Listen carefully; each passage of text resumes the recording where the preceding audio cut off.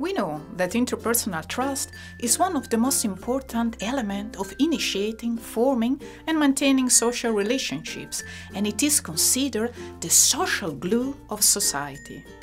So, increasing mutual trust is crucial for better understanding social life, right, Gonzo? Mm. It is not easy to trust people, huh? For the first time at Leiden University, we looked whether interpersonal trust can be enhanced by specific odors in the environment.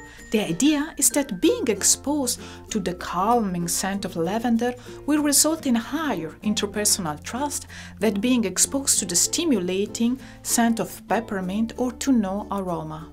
As indication of mutual trust, we use the trust game, a task that measures the extent to which one person, the truster, in our case Gonzo, trusts another person, the trustee, in our case, animal, as indicated by money units transferred from truster to trustee.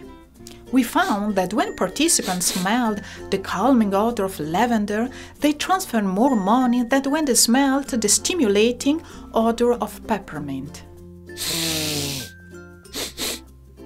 Gonzo, I need money.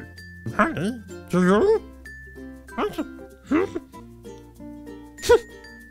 So, yes, we believe that aromas may be an easy way to promote mutual trust that may lead to an increment of efficiency and productivity besides enhancing the social glue of society.